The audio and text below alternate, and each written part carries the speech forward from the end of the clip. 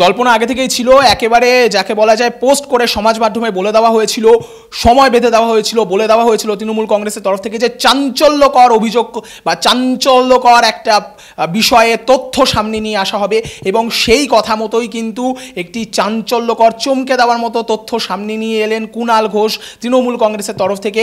NIA, BJP আতাতের অভিযোগ তিনি করলেন। আমরা জানি সাম্প্রতিক সময়ে এনআইএর উপরে যে আক্রমণের ঘটনা ঘটেছে তা নিয়ে রাজ্য রাজনীতি রীতিমতো সরগরম ছিল।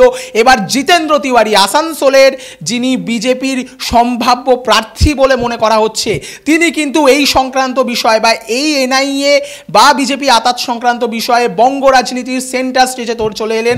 সৌজন্যে কুণাল ঘোষের চমকে দেওয়ার মতো অভিযোগ। কি অভিযোগ করছেন কুণাল ঘোষ? চলুন একবার দেখে নেওয়া যাক। ছাব্বিশে মার্চ, সন্ধে ছটা তিরিশ মিনিটে এনআইএর এসপি ধনরাম সিং এর নিউ টাউনের বাড়িতে এন্ট্রি নিয়েছিলেন বিজেপি নেতা জিতেন্দ্র তেওয়ারি। এটা ভিজিটার্স বুক। সেখানে দেখা যাচ্ছে, আপনাদের কপি দিয়ে দেওয়া হয়েছে, জে কে তেওয়ারি, তার অ্যাড্রেস দেয়া হয়েছে Saraswati Niketan fifth Camac street Kolkata. এই Saraswati Niketan five Camac street Kolkata, এটি হচ্ছে জিতেন্দ্র তেওয়ারির, মেয়ে পল্লবী তেওয়ারির বাড়ি।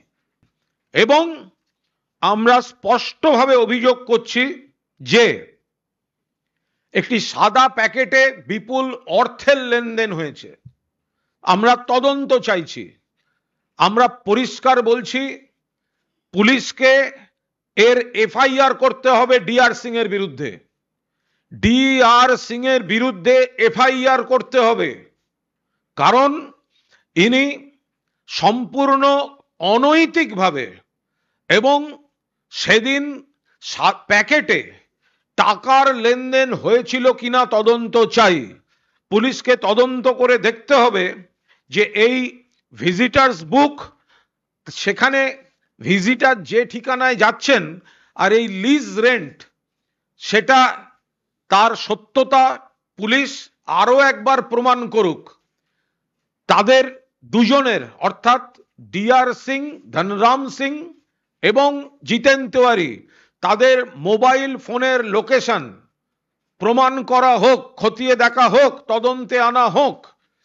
দুই ওই সময়টায় যতক্ষণ উনি ছিলেন, সাড়ে ছটা থেকে সাতটা বাইশ সন্ধ্যাবেলা, সেই সময় এই দুজনের ফোন থেকে কোথায় কোথায় ফোন গেছে, তার হদিস পুলিশকে বার করতে হবে, কাদের সঙ্গে কথা বলেছে এত বড় চক্রান্তটা? এবং সেই সঙ্গে আরও একটি বড় খবর পাওয়া যাচ্ছে যেটি, সেটি হলো যে এই গোটা এনআইএ এবং বিজেপি সংক্রান্ত যে আঁতাতের অভিযোগ তৃণমূল কংগ্রেস করছে, এই সংক্রান্ত বিষয়ে তারা কিন্তু সুপ্রিম কোর্টেও মামলা করতে চলেছে। এই প্রসঙ্গে বিজেপি নেতা তথা আসানসোলে বিজেপির সম্ভাব্য প্রার্থী বলে পরিচিত জিতেন তিওয়ারি আসানসোলের প্রাক্তন মেয়র, তিনি কিন্তু রীতিমতো ছেড়ে কথা বলছেন না, তিনি কিন্তু রীতিমতো পাল্টা হুঙ্কার ছেড়েছেন। কি বলছেন তিনি? চলুন দেখে নেওয়া যাক। তৃণমূল কংগ্রেস, যে কোনো খাম, যে কোনো কাগজ দেখলে পয়সাই ভাবে। তো জানি না তারা কোন খামের কথা বলছে, সেটা তারাই বলতে পারবে। এবং টাকা, পয়সা, লেনদেন তারা এসব কাজে অভ্যস্ত তো, তারা এইসবেই ব্যস্ত থাকে। ওই জন্য সবসময় তারা টাকা, পয়সা পয়সা এইসব দেখেছে তারা অন্য কিছু বোঝে না।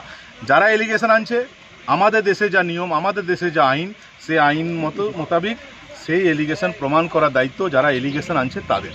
তারা এলিগেশন প্রমাণ করবে আপনি কি ধনরাম সিং এর নিউ টাউনের বাড়িতে গেছিলেন? আমি বলছি তো যে যারা এই ধরনের এলিগেশন আনছে এই এলিগেশন প্রমাণ করার দায়িত্ব তাদের। ওই আবাসনের রেজিস্টারে আপনার নাম উল্লেখ রয়েছে। আমি আমি তো বলছি যে আমি আমার নাম কোথাও লিখেছি সেটা প্রমাণ করে দেখা। কিন্তু তৃণমূল অভিযোগ করছে আপনি সাদা তৃণমূল কংগ্রেস তৃণমূল কংগ্রেস অভিযোগ তো কর- তৃণমূল কংগ্রেস কোনোদিন বলবে যে বিজেপি লোকেরা ভালো? আজ পর্যন্ত কোনো বিজেপি লোককে ওরা বলেছে যে ভালো তারা তৃণমূল কংগ্রেস তো অভিযোগই থাকে সবসময়। কিন্তু তৃণমূল দাবি করছে যে আপনার যাওয়ার কথা অস্বীকার করলেও তার ফুটেজ প্রকাশ আনবে তৃণমূল। আমি বলছি তো যে যার যারা এলিগেশন আনছে তারা তাদের এলিগেশন প্রমাণ করুক। আমাদের দেশে যা আইন সে আইনে যারা এলিগেশন আনে সেটা প্রমাণ করার দায়িত্ব তাদের উপরেই বর্তায়। যাদের বিরুদ্ধে এলিগেশন তাদেরকে প্রমাণ। তাহলে রোজ আপনি একটা এলিগেশন এনে দেবেন? আমি সারাদিন আমি নির্দোষ প্রমাণ করে বেড়াবো? তৃণমূল তো বলছে যে তৃণমূল বলে তৃণমূল আমার মালিক নাকি? তৃণমূল আমার মালিক নাকি? তৃণমূল যেটা বলছে সেটা আমাকে শুনতে হবে। আপনি কালকে বলে দেবেন আপনি চাঁদে গেছিলেন। এবার আমি প্রমাণ করব আমি চাঁদে যাইনি। যে এলিগেশন আনছে তাদের দায়িত্ব তারা প্রমাণ করুক তাদের অভিযোগ। আমার এটা দায়িত্ব না। রোজ কিছু না কিছু কেউ বলে যাবে আর সবাইকে আমি এক্সপ্লেনেশন দিতে হবে এটা হয় নাকি? আর তৃণমূল কি বলছে? পাগলে কিনা বলে ছাগলে কিনা খায়। এটাও অপরদিকে কুণাল ঘোষ যেটা বললেন, যে ধনন, ধনরাম সিং, সেই ধনরাম সিংয়ের নিউ টাউনের যে ফ্ল্যাট যে জিরো ডবল সিক্স, যে ফ্ল্যাট নাম্বার তিনি উল্লেখ করছেন, সেই ফ্ল্যাটের লিজ সংক্রান্ত কাগজও তিনি আজকে সাংবাদিক সম্মেলনে দেখিয়েছেন এবং সেখানে পরিষ্কারভাবে এটা উল্লেখ করা আছে বলে তিনি বলছেন যে এই ফ্ল্যাট লিজ নেওয়া হয়েছে এই ধনরাম সিংয়ের নামে। যে ধনরাম সিং এনআইএর এসপি, আদর্শ নির্বাচন বিধি চালু হয়ে গিয়েছে। এরকম অবস্থাতে একজন এনআইএ এসপি র্যাঙ্কের অফিসারের বাড়িতে একজন বিজেপি নেতা কেন গিয়েছিলেন? সেই প্রশ্ন তুলছেন তিনি। অপরদিকে তিনি আরও একটি চাঞ্চল্যকর অভিযোগ করেছেন যে রীতিমতো বিপুল টাকার লেনদেন হয়েছে। সাদা কাগজে মোড়া টাকার বান্ডিল নিয়ে ঢুকতে দেখা গিয়েছে বলে তিনি মনে করছেন। তিনি অভিযোগ জানাচ্ছেন এবং এই বিষয়ে তিনি কিন্তু রীতিমতো উচ্চ পর্যায়ের পুলিশি তদন্তের দাবি জানাচ্ছেন। এমনটাই কিন্তু বলছেন কুণাল ঘোষ। অপরদিকে ভিজিটার বুক ভিজিটার যে বুকের কথা তিনি উল্লেখ করছেন, সেখানে কিন্তু টাইমিং যে উল্লেখ করেছেন তিনি ছটা বাইশে জিতেন্দ্র তিওয়ারি এই ফ্ল্যাটে প্রবেশ করেছিলেন এবং তিনি সেখানে থেকে মাফ করবেন, ছটা তিরিশে তিনি এখানে প্রবেশ করেছিলেন এবং তিনি সেখান থেকে বেরিয়েছেন সাতটা বাইশে। ভিজিটার্স বুক অনুযায়ী কিন্তু এই তথ্যই তিনি পাচ্ছেন বলে তিনি বলছেন এবং অপরদিকে ভিজিটার্স বুকে যে ঠিকানার কথা উল্লেখ করা হয়েছে ক্যামাক স্ট্রিটের যে ফ্ল্যাটের কথা উল্লেখ করা হয়েছে, অর্থাৎ সরস্বতী অ্যাপার্টমেন্ট তিনি এটাও দাবি করছেন যে সেই অ্যাপার্টমেন্ট সেখানে থাকেন জিতেন্দ্র তিওয়ারির মেয়ে পল্লবী তিওয়ারি। অর্থাৎ সত্যি একেবারে মারাত্মক রকমের অভিযোগ করেছেন তিনি এবং তিনি এটাও বলছেন যে রীতিমতো সেখানে বসে, অর্থাৎ এই যে এক ঘণ্টার কাছাকাছি সময় এই এনআইএ এসপি অফিসারের বাড়িতে জিতেন্দ্র তিওয়ারি ছিলেন, সেই সময় নাকি বিভিন্ন যারা বুথ লেভেলের কর্মী রয়েছে তৃণমূলের এবং বিভিন্ন যারা নেতা রয়েছেন, যারা সংগঠনের কাছে অত্যন্ত গুরুত্বপূর্ণ, তাদের নাম ধরে নাকি লিস্ট দেওয়া হয়েছে তাকে, কাদেরকে গ্রেপ্তার করা হবে, কাদেরকে গ্রেপ্তার করতে হবে, কাদেরকে কতদিন ডিটেনশন করে রাখতে হবে, সেই সংক্রান্ত পরিষ্কার নির্দেশ নাকি দেওয়া হয়েছে এবং তার পরবর্তীকালেই এনআইএর এই যে তৎপরতা, সেই তৎপরতা বেড়েছে, এমনটাই কিন্তু অভিযোগ করছেন কুণাল ঘোষ।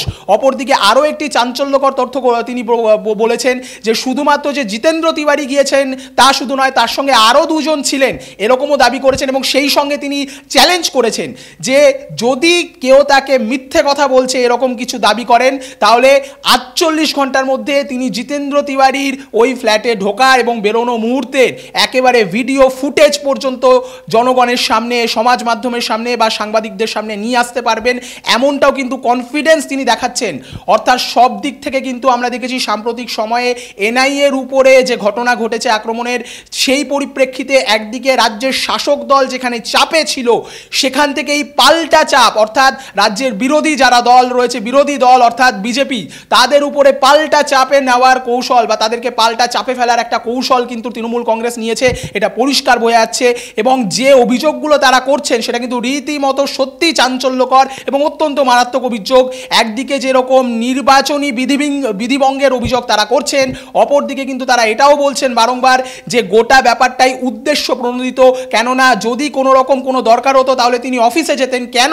একজন এনআইএ অফিসারের বাড়িতে তিনি গেলেন এবং এই সময়টাতে তাদের মধ্যে কি কি আলোচনা হয়েছে, কোন কোন নাম্বারে তাদের এই দুজনের ফোন থেকে অর্থাৎ জিতেন্দ্র তিওয়ারি এবং ধনরাম সিং তাদের ফোন থেকে কোন কোন নাম্বারে ফোন গিয়েছে, সেই সংক্রান্ত বিশদ তথ্য, বিশদ তদন্তের দাবিও জানাচ্ছেন কুণাল ঘোষ। অপরদিকে তারা এটাও বলছেন যে, এই সংক্রান্ত বিষয়ে তারা কিন্তু নির্বাচন কমিশনের কাছেও জানাবেন। এখন আরও একটি প্রশ্ন, আরও একটি জল্পনা আসানসোলকে ঘিরে তৈরি হচ্ছে। এরকম একটি অভিযোগের পর আমরা সবাই জানি যে, আসানসোলের ক্ষেত্রে সম্ভাব্য প্রার্থী তালিকায় প্রথম নাম এই মুহূর্তে অন্তত জিতেন্দ্র তিওয়ারি দৌড়ে তিনি অনেকটা এগিয়ে আছেন। কিন্তু এই ঘটনার পর তার এই প্রার্থী তালিকায় যে দৌড়, সেই দৌড় কি কোথাও স্তব্ধ হতে পারে বা কোথাও তিনি দৌড় থেকে ছিটকে যেতে পারেন? এরকম একটি বিতর্কের পরে কি আসানসোলে তাকে প্রার্থী করার মতো রিস্ক নেবে বিজেপি? বা তাকে কি প্রার্থী করেই পাল্টা জবাব দেবে বিজেপি? এই সংক্রান্ত একাধিক জল্প জল্পনা শুধু আসানসোল নয়, গোটা রাজ্যের রাজনৈতিক মহলে এখন তৈরি হয়েছে এবং জল্পনার অবসান কীভাবে হয়? কি সিদ্ধান্ত নেয় বিজেপি? বা আসানসোলে কে প্রার্থী হয়? বা এই যে এত একটি মারাত্মক অভিযোগ এলো, সেই মারাত্মক অভিযোগটিকে আলটিমেটলি তার পরিণতি কি হয়? তার তদন্ত হয় কি না বা সেই সংক্রান্ত আর কি কি নতুন নতুন তথ্য আমাদের সামনে উঠে আসছে, সেই সংক্রান্ত যাবতীয় বিষয় আমরা আপনাদের সামনে পৌঁছে দেবো। খবরের আলালে লুকিয়ে থাকা খবরের জন্য আপনারা দেখতে থাকুন ডিজিটাল খবরিলাল কারণ ডিজিটাল খবরিলাল মানেই খবর আপনাদের, নজর আমাদের। ডিজিটাল খবরিলাল খবর আপনাদের, নজর আমাদের।